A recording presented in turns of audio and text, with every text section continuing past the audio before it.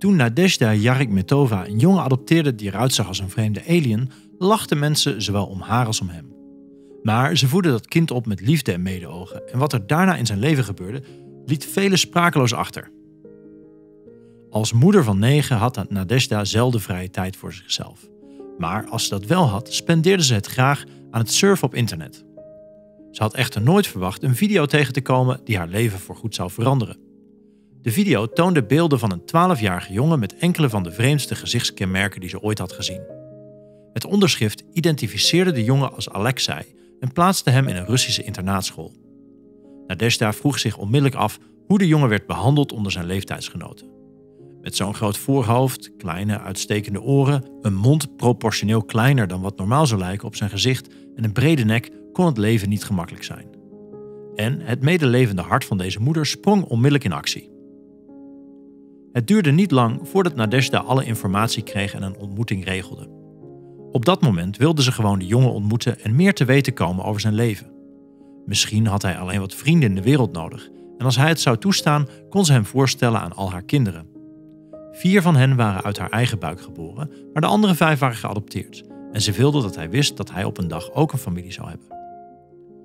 De dag dat ze aankwam bij de internaatschool, kreeg ze te horen dat Alexei in het ziekenhuis was en dat ze hem daar moest bezoeken. Hij onderging plastische chirurgie, iets dat al van jongs af aan een belangrijk deel van zijn leven was. Terwijl ze naar het ziekenhuis reed, groeide de anticipatie in haar hart.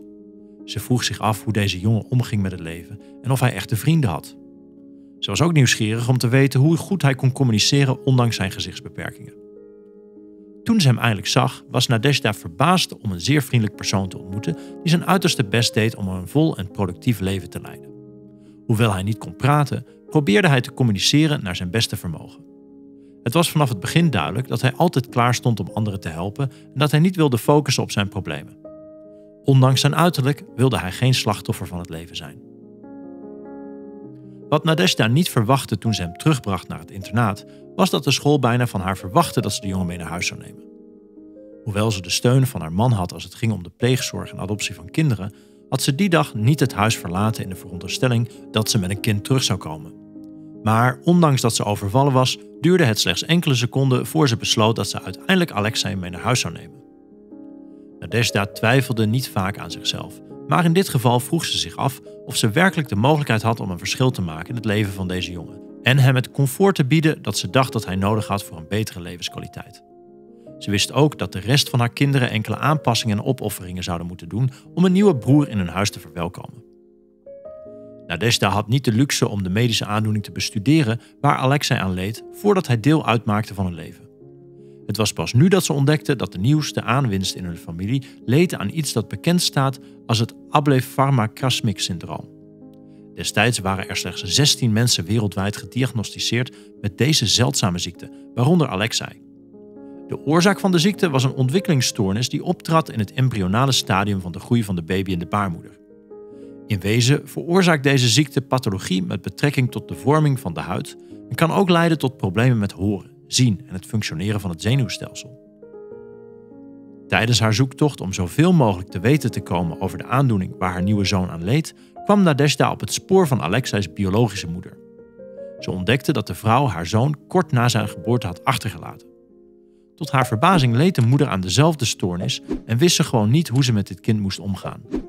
Hem achterlaten in het weeshuis was haar enige uitweg geweest. Het duurde in totaal tien maanden om het adoptieproces af te ronden. Intussen nam de familie hem mee op gastbezoeken. Van alle kinderen die ze hadden geadopteerd, vormde deze jongen de grootste uitdaging. Omdat hij niet kon praten, moest de familie een manier vinden om met hem te communiceren en zijn behoeften te begrijpen. Tijdens een bezoek aan de oceaan begreep Nadezhda voor het eerst dat Alexei een gewoon kind was toen hij een woedeuitbarsting kreeg nadat hem was verboden om alleen te zwemmen. Hoewel hij niet kon spreken, realiseerde ze zich al snel dat hij hoorde wat ze zeiden en dat hij ook zelf dacht. Zijn familie verwachtte niet dat het leven alleen maar roze geur en maneschijn zou zijn. In het openbaar verschijnen was de grootste uitdaging. Omdat Alexei er zo anders uitzag, moest de familie omgaan met grove opmerkingen. Mensen die openlijk naar de jongen staarden, vrede lachbuien en gefluister achter hun handen. Het was vanaf het begin duidelijk dat het grote publiek niet wist hoe ze respectvol met deze jongen met een humanoïde verschijning moesten omgaan. Wanneer kleine kinderen Alexei zagen, renden ze gewoon naar hem toe en vroegen hem of hij een buitenaards wezen was. In het begin was het erg pijnlijk, maar na verschillende keren kwam een van zijn zussen met een uitstekend antwoord. Ze zei gewoon ja, hij is een buitenaards wezen. En vreemd genoeg leken kinderen meer geïntrigeerd dan bang. Toch koos hij om deze reden ervoor geen gebruik te maken van het openbaar vervoer toen hij oud genoeg was om zelfstandig rond te lopen. Maar deze incidenten gebeurden overal. Vanwege zijn uiterlijk werd het gezin de toegang geweigerd om een dag door te brengen in een waterpark. Toen ze een opnamesessie voor hem in een studio boekte, zodat hij zijn drums kon oefenen, stopten de medewerkers de opname en vroeg het gezin om onmiddellijk te vertrekken toen ze zijn kenmerken opmerkten. Ze gaven een zwak excuus dat de opname per ongeluk was gemaakt en dat de studio was geboekt voor iets anders in dat tijdvlak. Maar ze wisten allemaal dat hij werd buitengesloten vanwege hoe hij eruit zag. Toch liet Alexei de wereld hem niet verpletteren of stoppen op welke manier dan ook. Lesja, zoals zijn familie hem noemt, groeide uit tot een opmerkelijke jongvolwassene die zich in elke context staande kon houden, ondanks dat hij niet kon praten. En wat er vervolgens in zijn leven gebeurde, was zelfs een beetje ongelooflijk. Op 18-jarige leeftijd rond hij de negende klas af, ondanks zijn beperkingen. En, hoewel hij niet 100% zeker is van wat hij wil doen na school, heeft dit twaalfde lid van de familie een passie ontdekt die hij momenteel nastreeft. Koken lijkt iets te zijn waar hij goed in is, en hij houdt ervan om te experimenteren met eten. Om deze reden geeft hij zijn moeder een beetje rust van het bereiden van maaltijden voor dit grote gezin. Tot nu toe heeft hij verschillende heerlijke gerechten bedacht die uitstekende familiemaaltijden vormen. Het kostte enige overreding, maar Lesja begon een blog waar hij zijn levensavonturen en recepten deelt. En hij heeft al meer dan 127.000 abonnees op zijn kanaal. Hij communiceert met hen door middel van gebaren en sprekende blikken en ze lijken van hem te houden. De jongen die niemand wilde en waar iedereen om lachte, is uitgegroeid tot een jonge man die duizenden mensen respecteren en waarderen. Dat is geen geringe prestatie voor iemand die in de ogen van de wereld niet veel zou moeten voorstellen.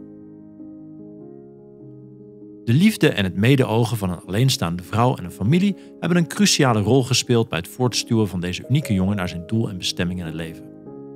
Niemand weet waar het leven Lesja in de toekomst zal brengen, maar één ding is zeker.